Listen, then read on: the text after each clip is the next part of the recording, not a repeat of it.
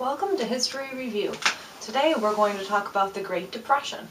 There are five causes of the Great Depression. The first cause is overproduction. Farmers were producing too many goods with not enough buyers. This leads to the second cause of the Great Depression, the credit crisis. Farmers didn't have, and other people, didn't have enough cash to buy things they needed at home, so they would buy on credit. Think of it like your parents' credit card. They buy on credit when they don't have enough cash, and then they have to pay the money off. Well, this leads to the third cause of the Great Depression, bank failure.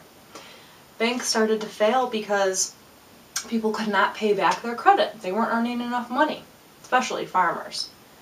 This leads to the fourth cause, Black Friday which is when the stock market crashed in 1929. The fifth cause of the Great Depression is the Dust Bowl.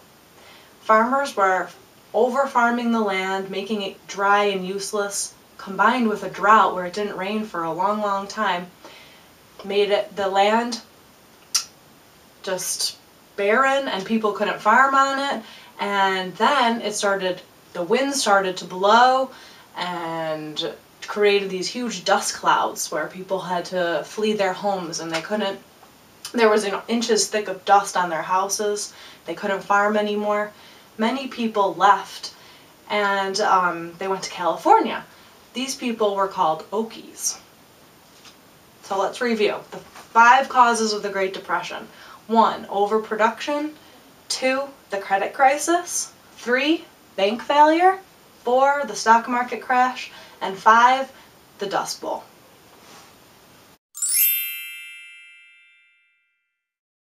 So you guys might be wondering, who was president during the Great Depression?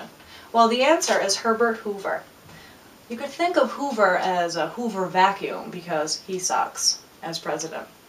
Hoover relied on volunteers to set up soup kitchens and help the poor and the needy. He believed in very small government. He didn't believe in public welfare.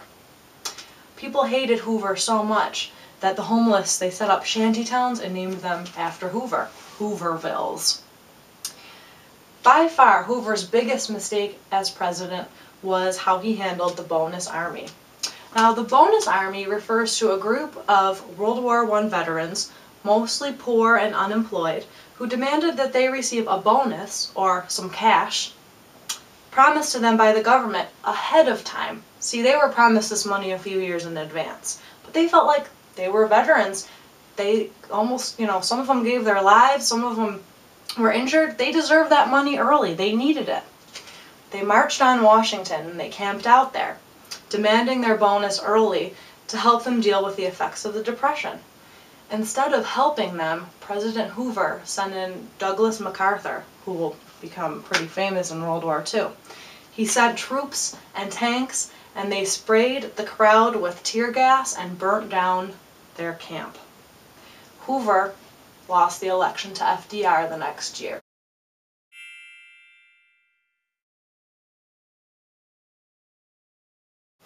FDR had different ideas about how to help the country during the Great Depression. Unlike Hoover, he believed the government was responsible for providing economic and social care for the needy.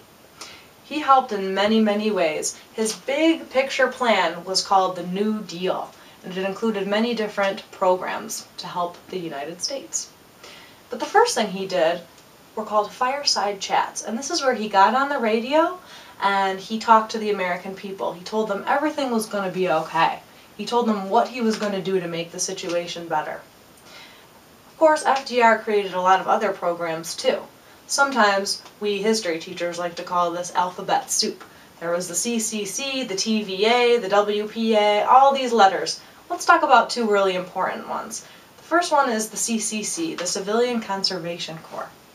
This provided manual labor jobs, you know, working with your hands, for young men. The Works Progress Administration was the largest New Deal agency, and it also provided jobs across the United States for men to build roads and buildings and other infrastructure. Another important thing FDR did was the Social Security Act, which we still have around today. It's important to remember, though, that African Americans, women, and unskilled workers had the hardest time finding jobs because of racism and sexism. So keep that in mind when you're thinking about um, men going back to work, that employers really like to hire white men first. FDR got into a little bit of trouble in, during his first term in office. This trouble is referred to as the Supreme Court packing scandal. It involved President Roosevelt and the constitutionality of some New Deal programs. The Supreme Court thought that some of his programs violated the Constitution. How, you might ask? Well, the Supreme Court thought that the New Deal gave the government and the president too much power. This is a violation of checks and balances. So they ruled some of his programs unconstitutional, meaning they couldn't be used.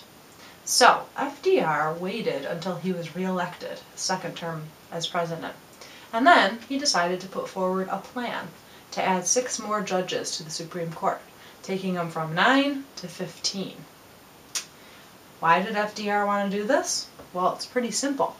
FDR wanted to put more justices into the Supreme Court. He wanted to pack them with Supreme Court justices that supported his plans in the court. That way, all of his New Deal programs would pass. This didn't work out too well. The public was outraged by FDR's efforts to make the president more powerful and the government more powerful, and eventually he withdrew his plan.